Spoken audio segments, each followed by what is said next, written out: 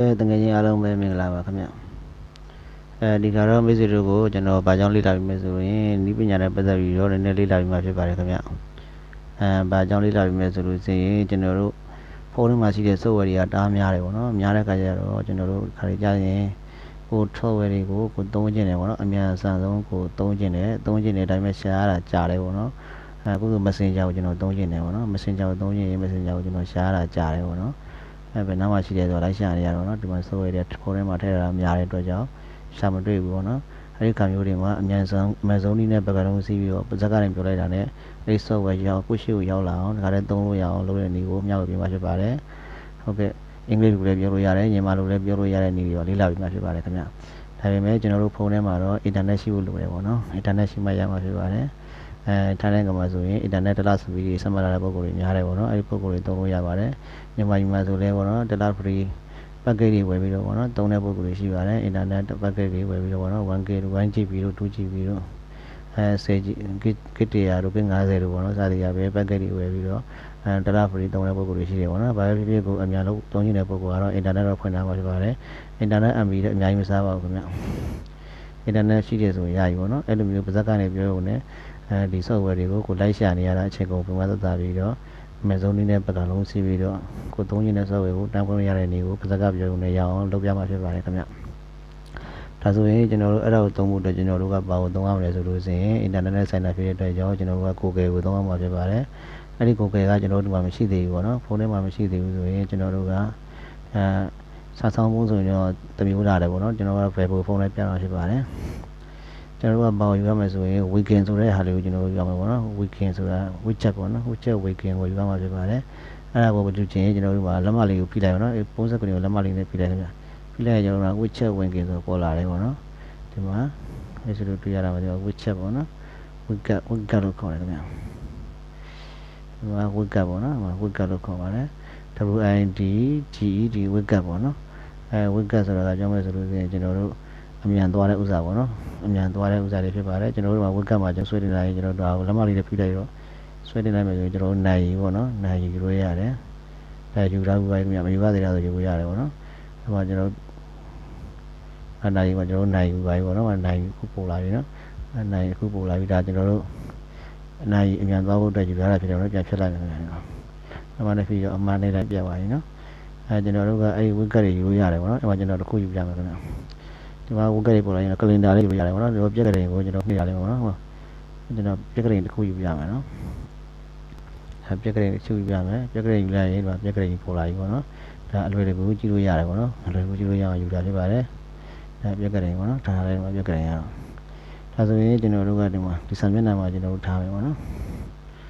ဒီဆံမျက်နှာမှာယူလိုက်မယ်ယူရရင်ကျွန်တော်တို့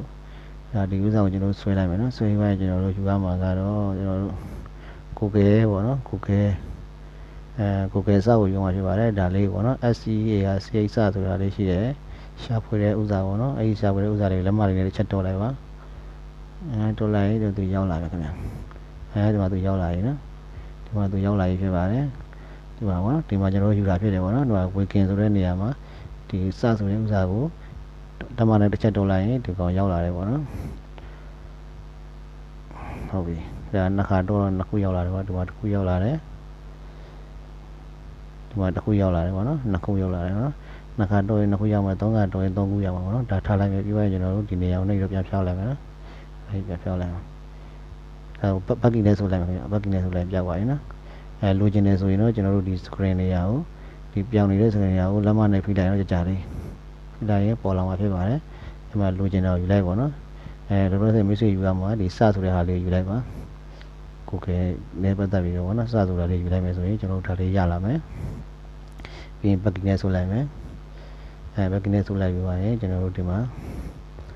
ဒီမှာတော့နှစ်ခါနေတော့ကြောင့်ဒီမှာတစ်ခုရတယ်ဗောနော်အဲပြီးပါရင်ဒီမှာတစ်ခုရတယ်ဗောနော်လုတ်တဲ့နေရာပြန်ဖြတ်ခြင်းနေဆိုရင်လဲပါတယ်ဒီမှာလက်မလေးနဲ့ကြာကြီးဖိလိုက်ပြီးပါရင်အဲဒီအမကလုတ်လေးနေတိုင်းပြတ်သွားပါဗောနော်အဲ့ဒါလေးနေတိုင်းပြောက်သွားမှာဖြစ်ပါတယ်ကျွန်တော်မနှိပ်တော့ဘူးနော်ဟုတ်ကဲ့ဒါဆိုရင်ကျွန်တော်တို့ဒီမှာ မိတ်ဆွေတွေကိုကျွန်တော်ပြောမယ်ပေါ့နော်ကျွန်တော်တို့အခု Messenger ကို share ရတာမတွေ့ဘူးပေါ့နော် Facebook Messenger မတွေ့ဘူးပေါ့နော်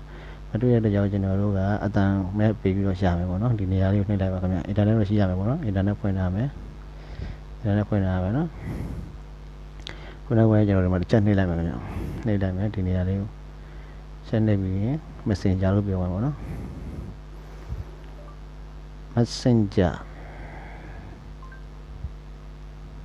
messenger ဆိုမကြောက် messenger တော့ကျွန်တော်ပြောတာမပြီးလို့ခင်ဗျနောက်တော့ back back နဲ့ဆုပ်လိုက်မယ်နောက်တော့ပြန်လိုက်မယ် messenger ဟောပေါ်လာပြီအဲ messenger နဲ့ပတ်သက်ပြီးပေါ်လာပြီပေါ့နော်အဲဒါဆိုရင်ကျွန်တော်တို့ဒါ Facebook မှာရှားတာဖြစ်တယ်ပေါ့နော်အဲကျွန်တော်တို့ messenger ဆိုပြီးအလုပ်ပေါ်လာတယ်ပေါ့နော်ဒါကျွန်တော်တို့ messenger လို့မပြောဘူးခင်ဗျကျွန်တော်ဘယ်လိုပြောမလဲဆိုလို့ဆိုရင်ချက်ပေါက်လို့ပြောကြည့်မယ်နော် messenger ချက်ပေါက် messenger ဆိုတော့ Facebook messenger မှာပေါ်ဖြစ်တယ်နော်စကလုံးပြည့်အောင်ပြောကြည့်မယ်ခင်ဗျ Facebook messenger อืม messenger ပါဆိုရင် messenger ပေါ်လာပြီပေါ့နော်ပေါ်လာပြီဆိုရင်ကျွန်တော်တို့ messenger ကိုအဲကျွန်တော်တို့ဒီမှာ open ဆိုတဲ့နေရာလေးနှိပ်နှိပ်လိုက်မယ်နော်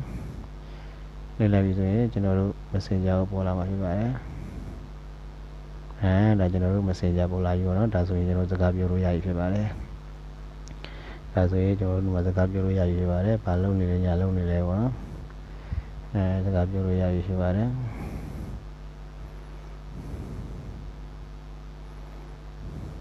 ကဲဒါကတော့ကျွန်တော်တို့ Messenger ကိုဒါလေးသုံးတာပေါ့နော်ကျွန်တော်တို့ဒါဆိုရင် Facebook ကိုသုံးမယ်ပေါ့နော် Facebook သုံးမယ်ဆိုရင်ကျွန်တော်တို့လှမ်းပြီးတော့မေးလိုက်မယ်ခင်ဗျာဒီမှာဟိုကနှိပ်လိုက်မယ်နော် Facebook Facebook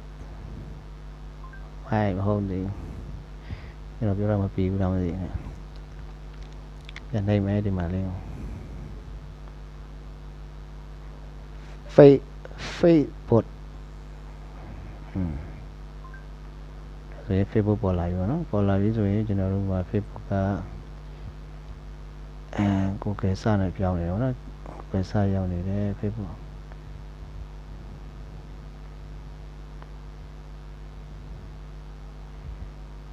ရောက်နေတယ် Facebook ဒါ Google စဖြစ်နေပေါ့နော်ကျွန်တော်တို့ကအဲ့ဒါကိုသုံးရမဟုတ်ပါဘူးကျွန်တော်တို့ကဖုန်းထဲမှာရှိတာကိုသုံးပါပေါ့နော်သုံးပါဖြစ်တဲ့အတွက်ကြောင့်ကျွန်တော်ကဒီ Google ကိုနှိပ်လိုက်မယ်ကြည်လေးကိုနှိပ်လိုက်မယ်အဲနှိပ်ပြီးမှကျွန်တော်တို့ဒီနေရာကိုနှိပ်မယ်ပေါ့နော်ဒီနေရာနှိပ်လိုက်မယ် Facebook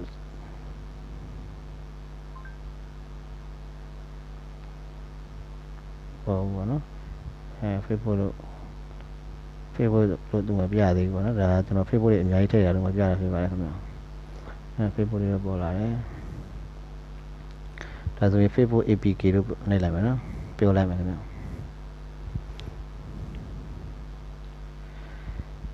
Facebook application อืม install လုပ်ခိုင်းတယ်အမဟုတ်သေးဘူးနော် အဲဆိုရင်ကျွန်တော်တို့ Facebook က install လုပ်ပြီးတော့မှသူ direct ပွင့်မှာဖြစ်ပါတယ်ပေါ့နော်အဲ Facebook open Facebook ရေးကြည့်ပါနော် open facebook open facebook ဟွန်းမာနေ facebook open facebook open အဲသူနားမလည်ပြန်ပြောတယ်ဗောနော်ကို facebook open ဟွန်းဟာနေဟုတ်ပြီ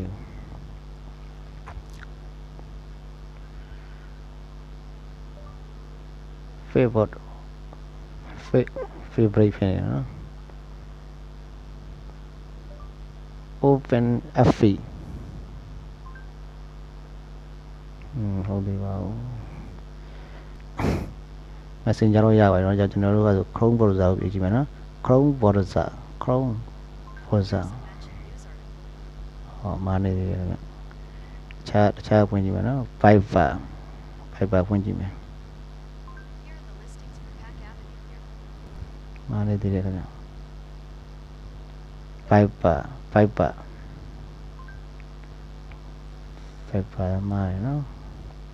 အဲစကလုံးအစအင်္ဂလိပ်နဲ့ပြောမယ်ဆိုရင်ကျွန်တော်တို့အတန်တက်ပြီးမှရမယ်ပေါ့နော်အတန်တက်မပြီးရင်မရဘူးပေါ့နော်အတန်တက်ပြီးမှရမှာဖြစ်ပါတယ်ကျွန်တော်တို့ကျွန် တော်တို့ငပိတန်ပေါက်နေတာမသိတော့အဆင်မပြေဘူးပေါ့နော်ဒါအမေရိကန်တန်လေးလိုတယ်ခင်ဗျဒါပေမဲ့ Messenger တော့ရတယ်ပေါ့နော် Messenger ကတော့အဆင်ပြေတယ် Messenger လို့ပြောရတာခါလေးတန်းပွင့်တယ်ပေါ့နော် Facebook ကတော့ခုနကကျွန်တော်စမ်းတော့ဖွင့်တယ်ခင်ဗျအခုမှမဖွင့်ရတာပေါ့နော် Facebook တွေကများနေပြီပေါ့ကျွန်တော် Facebook ကတော့မှကြည့်အဲဒီလိုမျိုးနှစ်ခုသုံးခုတော့လောက်တာလဲဆိုရင်မပွင့်ဘူးပေါ့နော်နောက်ပြီးပါရဲ့ဒီလိုမျိုးအဲအဲ Facebook live တွေပေါ့နော်ဒီလိုနဲ့ကျွန်တော် Facebook account သုံးခုဖြစ်လာတဲ့အတွက်ကြောင့်ကျွန်တော် Facebook ကိုပြောတာမပွင့်ဘူးဖြစ်တယ်ပေါ့နော် Messenger ကတော့တစ်ခုလေးလုပ်ဖြစ်တဲ့အတွက်ကြောင့်ပွင့်ပါတယ် အဲအဲဒါကြောင့်ကိုကျွန်တော် File Manager လို့ပြောကြည့်မယ်ခင်ဗျာ File File Manager File Manager အာ My Manager လို့ကြာတယ်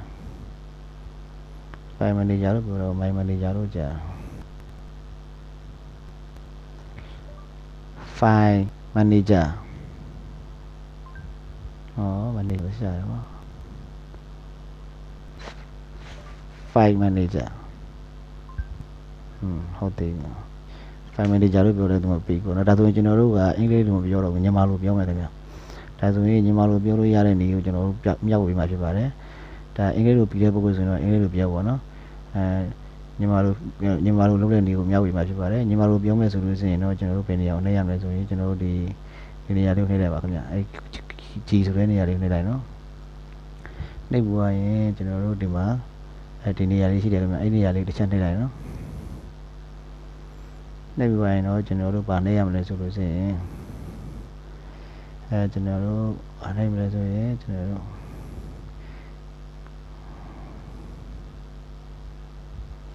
your data insert ဒါမဟုတ်သေးဘူးเนาะဒါအမနှိပ်လိုက်မယ် ဟုတ်သေးဘူးကျွန်တော်တို့ဒါနှိပ်နေပြောတူပါဒီကောင်လေးကိုဒီကောင်လေးကမဟုတ်သေးဘူးပေါ့နော်ဒါကျွန်တော်တို့ခဏဖြတ်လိုက်မယ်ဗျအဲဒါမဟုတ်သေးဘူးဒီ software မဟုတ်သေးပါဘူးကျွန်တော်တို့လုပ်လို့ရတဲ့ software တစ်ခုရှိသေးတယ်ကျွန်တော်ပြန်လုပ်မယ်နော်ဒါဟုတ်သေးဘူးနော်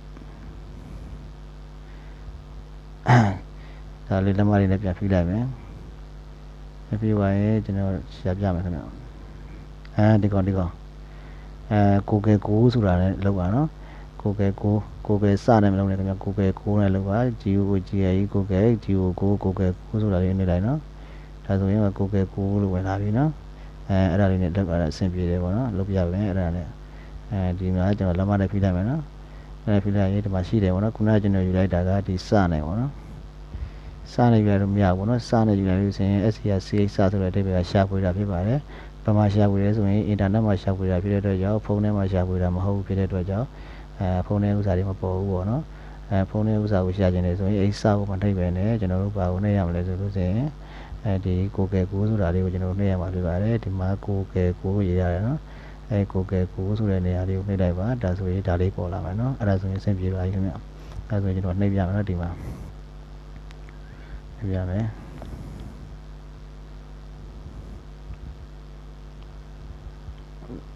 ဒါလေးဒီလေးဖိကြလဲပေါ့နော်လက်မလေးနဲ့ဖိကြလဲပဲဒါလေးပါတစ်ချက်နိုင်မယ်လက်မနဲ့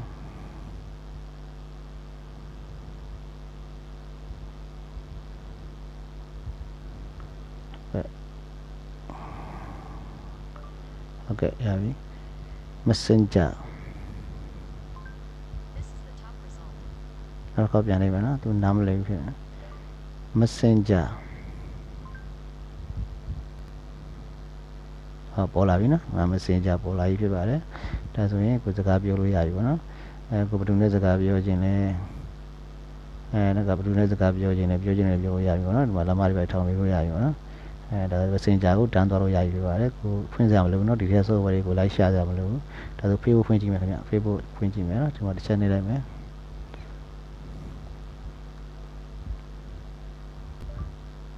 Facebook အာ အဲပြအောင်ပြောတယ်ကျွန်တော်ပြန်ပြောလိုက်မှာနော် Face Facebook အဲတော့ပေါ်လာပြီနော် Facebook ဆိုရင်ကျွန်တော် Facebook နှစ်ခုရှိရတဲ့အတွက်ကြောင့်နှစ်ခုပေါ်လာတယ်ပေါ့နော်တစ်ခုတည်းဆိုရင်တော့တစ်ခုပဲပေါ်ပါဖြစ်ပါတယ်တစ်ခုတည်းဆိုရင်ခါလေးတန်းပေါ်ပါပေါ့နော်အဲနှစ်ခုရှိရတဲ့အတွက်ကြောင့်နှစ်ခုပေါ်လာဖြစ်ပါတယ်ဒါဆိုရင် Facebook ပေါ်လာပြီပေါ့နော်ဟုတ်ကဲ့ဒါဆိုရင် Facebook ပေါ်လာပြီအဲဒါဆိုရင်ကျွန်တော်တို့ Viber ကိုပြောကြည့်မယ်နော်အဲ Viber ကိုပြောကြည့်မယ် Viber ရှိရနော်ကျွန်တော် Viber ကိုပြောကြည့်မယ်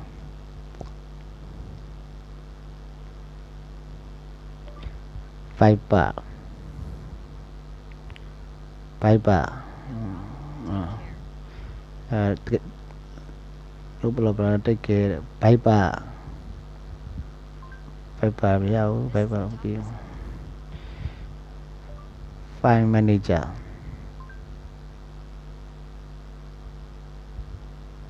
File Manager ဆိုပေါ်လာပြီပေါ့နော်ဒီမှာကျွန်တော် File Manager ကြီးပေါ်လာပြီဖြစ်ပါတယ်ဒီမှာ SD card ကြီးတွေပေါ်လာပြီဖြစ်တာနော် SD card ကြီးကြည့်လို့ရတယ်ပေါ့နော်အဲ SD card တွေပေါ်လာပြီဒါကျွန်တော် file နဲ့ဟာပေါ့နော်ဓာတ်ပုံတွေဒီမှာပေါ်လာပြီဗီဒီယိုတွေပေါ့နော်သချင်းတွေဒီမှာကျွန်တော်ဥစ္စာတွေပေါ့နော်ဇာတ်ကားတွေအဲတို့ဥစ္စာတွေပေါ်လာပြီဖြစ်ပါတယ်အဲဓာတ်ပုံတွေလည်းပေါ်လာပြီကြည့်လို့ကြက်တဲ့ကြည့်လို့ရပြီပေါ့နော်ဓာတ်ပုံသချင်း music အဲကြည့်လို့ရပြီဒါ file manager လို့ပြောလိုက်တဲ့အတွက်ကြောင့်ပေါ်လာတာဖြစ်ပါတယ်အဲဒါကတော့ကျွန်တော်တို့ဖုန်းထဲမှာရှိကြတာတွေကိုကျွန်တော်တို့အဲ အများဆုံးနည်းနဲ့ရှာတဲ့ဒီဖြစ်တယ်ပေါ့နော်အဲကျွန်တော်နောက်တစ်ခုထပ်ပြအောင်နောက်တစ်ခုကဘာပြောမလဲဆိုရင် drop out TikTok ပြောပါတော့ဒီမှာ TikTok နော် TikTok ကိုကျွန်တော်ပါဇက်နဲ့ပါဇက်နဲ့ပြောရေးဖွင့်မယ်နော်ရှာမတွေ့ဘူးနော်ကျွန်တော်လိုက်ရှာတော့မတွေ့ဘူး TikTok ပြောင်းနေတယ်ဆိုရင်ရှာရတာကြားတယ်ဆိုရင်ဒီမှာနှိပ်လိုက်မယ်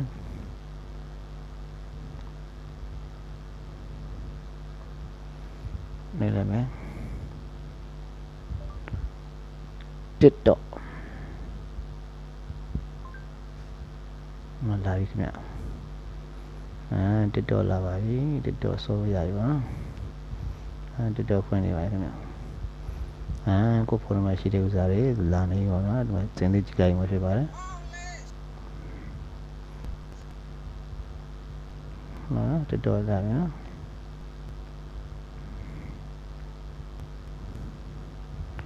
ဟုတ်ကဲ့ဒါ TikTok ကြည့်လို့ရပြီဖြစ်ပါတယ် ဒါကတော့ TikTok လို့ပြောလိုက်လို့ TikTok ရောက်လာတာပေါ့နော်ဒါဆိုရင်ကျွန်တော်တို့ဒါအင်္ဂလိပ်လိုပြောရတယ်ပေါ့နော်မြန်မာလိုပြောချင်တဲ့ပုံစံတွေအတွက်မြန်မာလိုပြောလို့ရအောင်လုပ်တဲ့နည်းပြပြပေးပါဦးမယ်မြန်မာလိုပြောချင်တယ်ဆိုရင်ကျွန်တော်ဒီနေရာလေးကိုနှိပ်ရမှာဟမ်အဲဒီနေရာလေးကိုနှိပ်ရမှာဖြစ်ပါတယ်ဒီနေရာလေးတစ်ချက်နှိပ်ကြည့်လိုက်နော်နှိပ်ပြီးသွားရင်ကျွန်တော်တို့ခဏလေးပါဟိုနှိပ်ပြီးသွားရင်ကျွန်တော်တို့အဲဒီနေရာလေးကိုနှိပ်လိုက်ခင်ဗျ setting ကိုနှိပ်လိုက်နော် setting ကိုနှိပ်မယ် setting ကိုနှိပ်လိုက်ပဲနှိပ်ပြီးသွားရင်ကျွန်တော်တို့ဒီမှာ choice language ဆိုတာရှိတယ်ပေါ့နော်ဒီမှာကတော့ဒီ choice a second language ကိုဘာမီလို့ထားလိုက်ပါပြီးရင် choice language ဆိုတာကိုလည်းကျွန်တော်တို့ဘာမီလို့ထားလိုက်ပေါ့နော်အဲကျွန်တော်တို့ရှာလိုက်မယ်ဒီမှာဗမာလို့ရှိတယ်နော်အဲဗမာလို့နှိပ်လိုက်မယ်နှိပ်လိုက်တာကဗမာလို့ဖြစ်သွားပြီနော်အကုန်လုံးဖြစ်သွားပြီဆိုရင်ကျွန်တော်တို့ဒီမှာတရားနှိပ်ပြီးတော့ပြန်လိုက်မယ်နော်ပြန်လိုက်မယ်ပြီးပြီး back နဲ့ဆုပ်လိုက်မယ်နောက်ပြန်လိုက်မယ်ပြန်သွားရင်ကျွန်တော်ညည ဒီမှာနှိပ်မယ်နော်နှိပ်သွားရင်ညီမလို့ပြောမယ်ခင်ဗျညီမလို့ကျွန်တော်တို့ရန်ကုန်လို့ပြောမှာပေါ့နော်ညီမလို့ဘုံဘပြောပါဆိုတော့ကျွန်တော်တို့ပြောပဲရန်ကုန်ဟွန်းခဏလေးပြန်ပြန်ဆုံးလိုက်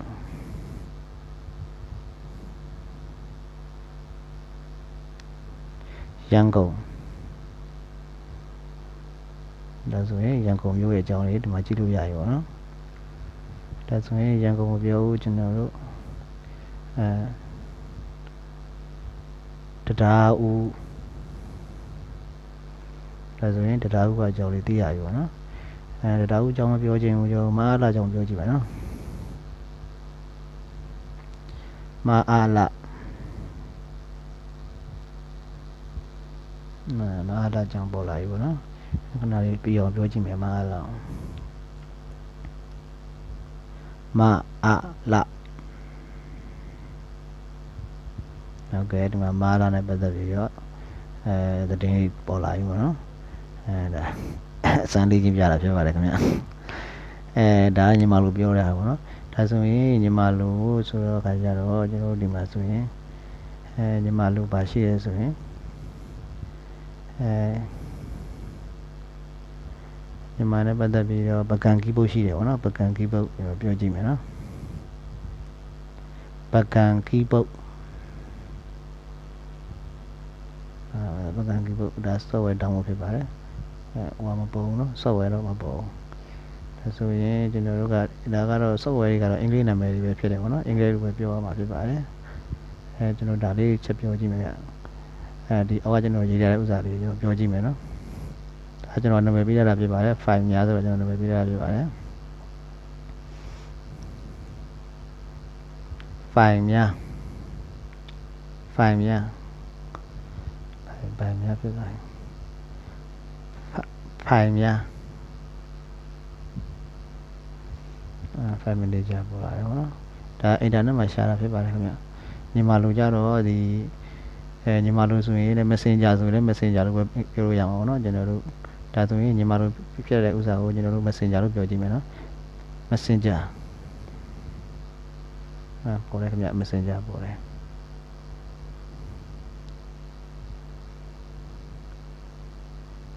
အဲကျွန်တော်နောက်တစ်ခေါက်ပြောကြည့်မယ် Facebook ပြောကြည့်မယ် Facebook อืม Facebook application ရောက်ပါ Facebook อืม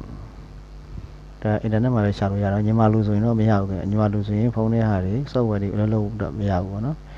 အဲညီမလူဆိုရင်တော့ internet မှာရှာရင်တော့ရတယ်ပေါ့နော် internet မှာဆိုရင်ဒါကျွန်တော်တို့ဒီမှာ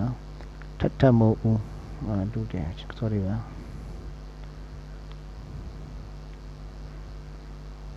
ထက်ထက်မို့ဦးဒါဆိုရင်ထက်ထက်မို့ဦးအကြောင်းတွေပါပြီပေါ့နော်ဒီမှာထက်ထက်မို့ဦးနဲ့ပတ်သက်တဲ့အကြောင်းတွေပေါ်လာပြီဖြစ်ပါတယ် အဲစာရေးစာမလိုဘဲနဲ့ကိုပြောလိုက်တာနဲ့သူရှာပြီးမှဖြစ်တယ်ပေါ့နော်ဒါကတော့ internet မှာရှာတဲ့နည်းပဲဖြစ်ပါတယ်ခင်ဗျညီမလူနဲ့ညီမလူလုပ်မယ်ဆိုရင်တော့ဒီ software တွေကိုခေါ်လို့မရဘူးပေါ့နော်ခေါ်မယ်ဆိုရင်မပေါ်ဘူးပေါ့နော်အဲအင်္ဂလိပ်လိုလုပ်ထားမယ်ဆိုရင်တော့ဒီ software တွေကိုခေါ်လို့ပေါ်မှာဖြစ်ပါတယ်ဒါကြတဲ့ TikTok ဆိုရင်တန်းပွင့်တာပေါ့နော်ကျွန်တော် TikTok ခေါ်ကြည့်မယ်ခင်ဗျ TikTok ပေါ်ဘောနော် TikTok တွေတော့ပေါ်လာတယ်ဒါပေမဲ့ကိုယ့်ရဲ့ဖုန်းထဲမှာရှိတဲ့ TikTok မပေါ်လာဘူးနော် အဲအင်္ဂလိပ်လိုပြောင်းမှပေါ်လာမှာဖြစ်ပါတယ်ဒါဆိုကျွန်တော်အင်္ဂလိပ်လိုပြန်ပြောင်းလိုက်ပါနော်အင်္ဂလိပ်လိုပြန်ပြောင်းလိုက်မယ်ဘာမှဒီမှာနေလိုက်ပါနော်ဒါတို့လက်စလို့ထိုင်းစကားပြောတတ်တဲ့ပုဂ္ဂိုလ်ထိုင်းထိုင်းလူမျိုးဟိုကထိုင်းထိုင်းလူထိုင်းလူပြောတတ်တဲ့ပုဂ္ဂိုလ်ဆိုရင်ဒီမှာထိုင်းလူလောက်တာပေါ့နော်ဒါဆိုရင်ကျွန်တော်ထိုင်းနဲ့စာကြည့်မယ်ခင်ဗျအဲထိုင်းဖြစ်ပါရင်နော်ထိုင်းဖြစ်ကိုထိုင်းလို့ကျွန်တော်ပြောကြည့်မယ်တကုန်းခုတာပေါ့နော်ဒါဆိုရင်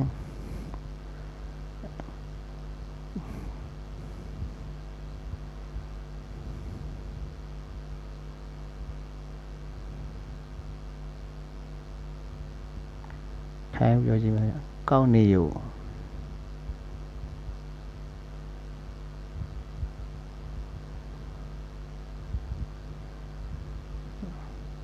စဝါဒီလို့ပြောကြည့်မယ်စဝါဒီ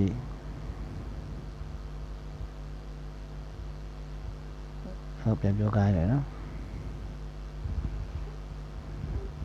ဒါကတော့ထိုင်းလို့ဖြစ်ပါတယ် ကျွန်တော်ပြောကြည့်မယ် Facebook ပြောကြည့်မယ်ခင်ဗျအမ် Facebook ရအောင်နော် TikTok ပြောကြည့်မယ် TikTok မရဘူးနော်ဒါတော့ထိုင်းလို့ပြီးတဲ့ပုံကိုဆိုရင်ထိုင်းလို့ပြောကြည့်ပေါ့နော်ကျွန်တော်ကတော့အင်္ဂလိပ်ကိုပြန်ပြောင်းလိုက်မယ်ခင်ဗျအင်္ဂလိပ်လို့ဆိုရင်အဆင်ပြေတယ်နော်အဲကျွန်တော်ဒီမှာအင်္ဂလိပ်ကိုပြန်ပြောင်းလိုက်မယ်ဒီမှာနေမယ် နောက်ပြီးဒီမှာနေမယ် setting ကိုနေမယ်ဒီဒီမှာအင်္ဂလိပ်ကိုပြန်ပြောင်းလိုက်ပါနော်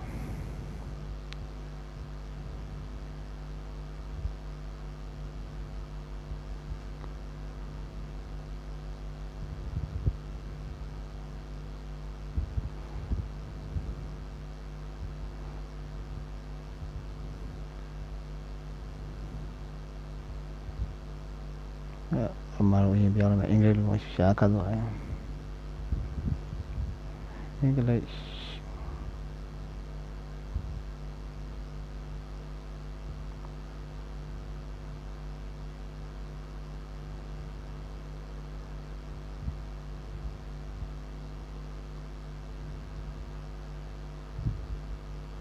အင်္ဂလိပ်နော်အင်္ဂလိပ်ကဒီမှာဖြစ်ပါတယ်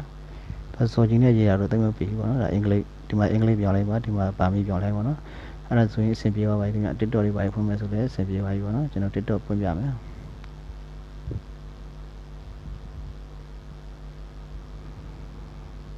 နှစ်ချက်လောက်နေနော်တစ်ချက်နှစ်ချက်လောက်နေတိုင်းမှာဆက်တိုက်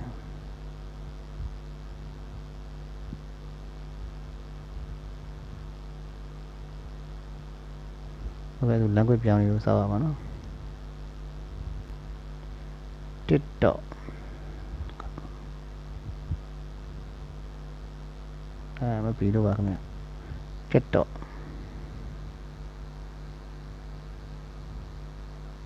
နောက်တစ်ခေါက်ပြန်ပြောခိုင်းရနော်နောက်တစ်ခေါက်ပြန်ပြောခိုင်းနေတယ် TikTok ဩဒုက္ခ TikTok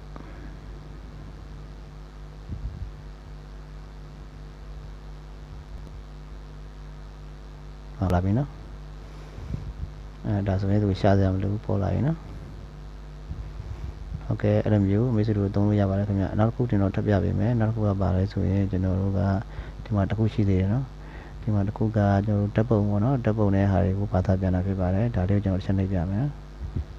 နှိပ်ပြပါရင်ကျွန်တော်တို့ကအဲဓာတ်ပုံယူပါမယ်ပေါ့နော်ကျွန်တော်တို့ဒီဒီမှာယူမယ်ဒီမှာနှိပ်မယ်ဓာတ်ပုံရှာမယ်ပြီးရင်ကျွန်တော်တို့ဒီမှာ A ဘန်ပေါ့နော် ဒါအပြင်မှာရှိနေတဲ့အပြင်ဟာကိုဓာတ်ပုံရိုက်ပေါ့နော်အပြင်ကအင်္ဂလိပ်စာတွေကိုဓာတ်ပုံရိုက်လို့ရပါတယ်အဲ့ဘာကိုနှိပ်မယ်နှိပ်ပြီးပါရင်ကျွန်တော်ဒီမှာဘာသာပြန်ပြမယ်ခင်ဗျ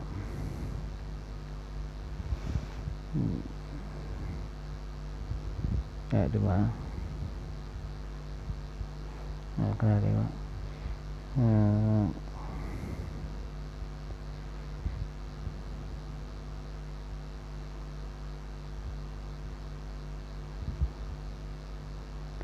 ဟုတ်ကဲ့ဒီမှာနော်ဒီစာလေးကိုကျွန်တော်ဖတ်ပြမယ်ဒါလေးဖတ်ပြပါမယ်ဒါဆိုရင်သူဖတ်နေခင်ဗျာဒါဆိုရင်ကျွန်တော်ညီမတို့သိချင်တယ်ပေါ့နော်ဒီစာကိုညီမတို့သိချင်ဒီနေရာကိုနှိပ်လိုက်ပါဒါညီမတို့ပြောပါရင်နော်ဒါကနာစကင်းမြာမှာညီမတို့လောက်ထားတဲ့အတွက်ညီမတို့ဖြစ်သွားပြီအဲ့ဒါမှကျွန်တော်ဖတ်မတတ်သေးဘူးဆိုလို့ရှိရင်မစိမကောင်းတဲ့ပုံကိုယ်တွေပေါ့နော်အဲဖတ်မတတ်သေးဘူးဆိုရင်ဒီနေရာလေးကိုနှိပ်လိုက်ပါ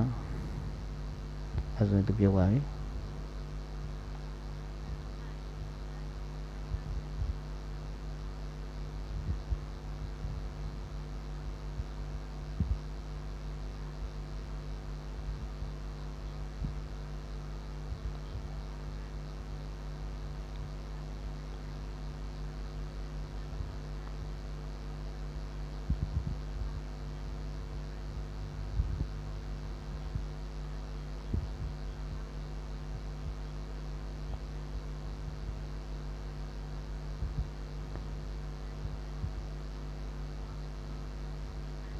ရက်ရက်ချင်းဒီမှာနှိပ်လိုက်ပါအဲဆိုရင်ရက်သွားပြီပေါ့နော်ဒါဒါကတော့ဓာတ်ပုံမှာယူတဲ့နည်းဖြစ်ပါတယ်ခင်ဗျဒါကိုအင်္ဂလိပ်လိုသိချင်တယ်ဆိုရင်လည်းကျွန်တော်ဒီမှာ translate ကိုနှိပ်လိုက်ပါတော့နောက်တစ်ခါဒါဆိုအင်္ဂလိပ်လိုအင်္ဂလိပ်လိုနားထောင်ချင်တယ်ဆိုရင်တော့ဒီမှာလေး lesson လေးကိုနှိပ်လိုက်ပါတော့အဲဆိုအင်္ဂလိပ်လိုပြောင်းမှာဖြစ်ပါတယ်อืม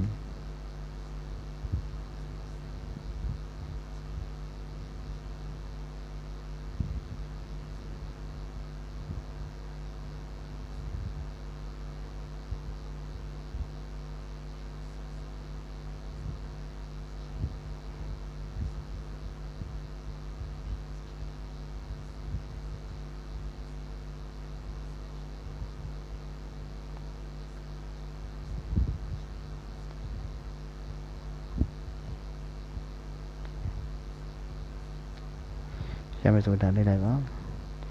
ဟုတ်ကဲ့ဒါကတော့ကျွန်တော်တို့ဓာတ်ပုံမှာရှိတဲ့စာတွေကိုညီမတို့ဖတ်ခိုင်းလို့လည်းရတယ်အင်္ဂလိပ်လိုဖတ်ခိုင်းလို့လည်းရတယ်ပေါ့နော်ဖတ်ခိုင်းတဲ့နည်းလေးပဲဖြစ်ပါတယ်ဒီတော့ဆိုရင်ဒီကနေသွားတာနော်ဒီတော့ဆိုရင်မစ္စည်းတို့နားလိုက်ပြီးထင်ပါတယ်အဲတကယ်လို့မစ္စည်းတို့ကအပြင်မှာပေါ့နော်စိုက်ခရီးသွားလို့ဆိုင်းဘုတ်တွေပါတယ်အင်္ဂလိပ်လိုရေးကြတယ်ထိုင်းလိုရေးကြတယ်နားမလည်ဘူးဆိုရင်နော်အဲကျွန်တော်တို့ဒီကင်မရာလေးကိုနှိပ်ပြီးတော့အဲထိုင်းကိုထိုင်းစာကိုဓာတ်ပုံရလိုက်ပေါ့နော်ရပြီးတော့ ဒီနေရာနဲ့တက်ပုံရလိုက်ပေါ့နော်တက်ပုံရပြီးတော့ညီမတို့ဖတ်ခိုင်းလို့ရပါတယ်အဲ့ဒီခါမှာကျွန်တော်တို့ဘယ်လိုပြောင်းမလဲဆိုရင်ဒီ setting မှာချိန်ထားမှာဖြစ်ပါတယ်တကယ်လို့မိတ်ဆွေရထိုင်းမှာသွားလာလို့ထိုင်းစာကိုညီမတို့သိကျင်တယ်ဆိုလို့ရှိရင်ကျွန်တော်တို့ဒီမှာကိုအဲ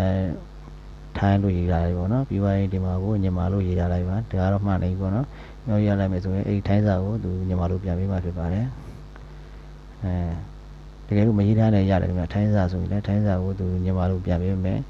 ဒါမှမဟုတ်လည်းအင်္ဂလိပ်လိုပြန်ပေးမှာနော်ဒီဥစားပထမဦးဆုံးဦးစားပေးကတော့အင်္ဂလိပ်လိုပြန်ပေးမယ်အရာရာအားလုံးကိုမိတ်ဆွေကိုသူအင်္ဂလိပ်လိုပြန်ပေးမယ်တရုတ်စာတွေကိုလည်းတပုံရလိုက်ဂျပန်စာပဲဖြစ်ဖြစ်တပုံရလိုက်ပေါ့နော်ရိုက်ပြီးသွားရင်မိတ်ဆွေအခုနကကျွန်တော်လုပ်တဲ့တန်လုပ်လိုက်မယ်ဆိုရင်မိတ်ဆွေအင်္ဂလိပ်လိုပြန်ပေးမယ်အင်္ဂလိပ်လိုပြန်ပေးလို့မိတ်ဆွေမကြိုက်ဘူးနားမလည်ဘူးဆိုလို့ဆိုရင်နောက်တစ်ခေါက်ထပ်နေလိုက်မယ်ဆိုရင်ဗမာလိုပြန်ပေးမယ်ပေါ့နော်ပြန်ပေးစရာနှစ်ခုရှိပါတယ်အင်္ဂလိပ်နဲ့မြန်မာနဲ့ပေါ့နော်ဟုတ်ကဲ့ဒါဆိုရင်မိတ်ဆွေတို့သုံးတက်ပြီထင်ပါတယ်ခင်ဗျဟုတ်ကဲ့မိတ်ဆွေတို့ဒီ software လေးကိုဒါလေးကို ဒီလိုလက်မလေးကြာရေးဖိလိုက်ပါတော့ဖိပြီးပါရင်ဒီကနေယူပါတော့အဲယူပြီးပါရင်ဒီအဲ Google ကိုဆိုတဲ့ဟာလေးကိုယူပြီးတော့အဲမိတ်ဆွေတို့ကျွန်တော်သုံးလို့သုံးနိုင်ကြပါစေလို့ဆန္ဒပြုရင်းနဲ့ပဲဗီဒီယိုဖိုင်လေးကိုရနာပါမယ်တကယ်လို့ဒီ Google ကိုဆိုတဲ့အဲအဲ widget လေးပေါ့နော်ဒီ widget လေးမရှိဘူးဆိုလို့ရှိရင်ကျွန်တော်တို့ရှိအောင်လုပ်တဲ့နည်းလေးပြောပြပေးပါဦးမယ်ရှိချင်တယ်ဆိုရင်ကျွန်တော်တို့ဘယ်လိုလုပ်ရမလဲဆိုရင်ကျွန်တော်တို့ဒီ software လေးကိုတောင်းထားမှာဖြစ်ပါတယ်အဲ ရှိချင်တယ်ဆိုရင်ကျွန်တော်တို့ဒီ Google Go ဆိုတဲ့ software လေးကိုတောင်းထားမှာဖြစ်ပါတယ်ခင်ဗျာ Google Go ဆိုတဲ့ software ဒီမှာဒီမှာဒါလေးကိုတောင်းထားပါเนาะဒါလေးကိုမိတ်ဆွေတို့အချို့ဖုန်းထဲမှာဆိုရင်တော့ original ပါတယ်ပေါ့နော်အချို့ဖုန်းမှာဆိုရင်တော့မပါဘူးပေါ့နော်ဒါကြောင့်ကို original မှာပါတဲ့ဖုန်းလေးဆိုရင်အဲဒီ Google Go လေးကိုတောင်းထားလိုက်ပေါ့နော်အဲတောင်းထားပြီးတော့အသက်သွင်းထားလိုက်ပြီဆိုတာ ਨੇ အဲမိတ်ဆွေဒီမှာလက်မလေးနဲ့ဖိလိုက်ပြီဆိုတာ ਨੇ ဒီ Google Go လေးကအဲဒီမှာရောက်နေမှာဖြစ်ပါတယ်ဒီမှာရောက်နေမှာဖြစ်တယ်ပေါ့နော်တကယ်လို့ဒါလေးမရှိလို့ Google Go လေးမရှိဘူးဆိုရင်ကျွန်တော်ပြောသလိုအဲဒီကောင်ကို Play Store ကနေ download လိုက်ပေါ့နော်အဲ Play Store ကနေ download လိုက်ရင်ရပါတယ်ပေါ့နော် Google Go ပေါ့နော်အဲတော့ download ပြီဆိုရင်ကျွန်တော်သုံးသလို TikTok တွေအလွယ်တကူဖွင့်လို့ရမယ် Facebook တွေဆိုရင်အလွယ်တကူတန်းဖွင့်ရမယ် Messenger တွေလည်းအလွယ်တကူတန်းဖွင့်လို့ရမှာဖြစ်ပါတယ်ခင်ဗျ ပြီးလို့ဆိုရင်ညီမလိုပြောင်းလာမယ်ဆိုရင်ညီမပြည်ကအကြောင်းအရာတစ်ထပ်မဟုတ်ပါညာပေါ့နော်ကိုသိချင်တဲ့လူကိုနံပါတ်ပြလိုက်လို့ねတက်ကြည့်လို့ရမှာဖြစ်ပါတယ်ပြီးရင်လမ်းတော်လမ်းလာရေးစာပေဆိုင်းဘုတ်တွေဖတ်မတတ်ဘူးဆိုရင်လည်းတက်ပုံရပြီးတော့ဘာသာပြန်ပြီးတော့ညီမလိုပြောခိုင်းလို့ရတယ်အင်္ဂလိပ်လိုပြောခိုင်းလို့ရတယ်ပေါ့နော်အဲဒီလိုသုံးနိုင်ပြီးတော့ကျွမ်းကျွမ်းနေချင်းရနိုင်ကြပါစေလို့ဆန္ဒပြုရင်းနဲ့ဗီဒီယိုဖိုင်လေးကိုရတာပါမယ်ကျေးဇူးနာဆင်ကြလို့ကျေးဇူးတင်ပါတယ်ခင်ဗျကျွန်တော်ဗီဒီယိုဖိုင်လေးရတဲ့ကျန်နေတဲ့လက်မထောင်ပြီးချင်း မစ္စည်းလူနဲ့ကျွန်တော်လည်းနောက်တစ်ခေါက်ပြန်ဆုံနိုင်ပါစေခြင်းကဗီဒီယိုဖိုင်အောက်မှာရှိရတဲ့အောင်ဆိုတဲ့လေးရတဲ့ကျေးဇူးပြုရမယ်အောင်ပြောင်းနေတာပြီးချင်းကောင်းလုံးလေးတာပြီးချင်းတို့ကိုချင်းမြောက်တာပေးရပါအောင်တောင်းဆိုပါတယ်အဲဗီဒီယိုဖိုင်အောက်မှာနေအောင်လေးကိုအမေအောင်ပြောင်းနေပြီးပါရကောင်းလုံးနေပြီးသားပြီးပုတ်ကူများဆိုရင်ဘာမှလုပ်ပေးစားမှုတော့ပါခင်ဗျနောက်ကလည်းပြန်ဆုံတွေ့ရပါအောင်မယ်နော်ဘိုင်ဘိုင်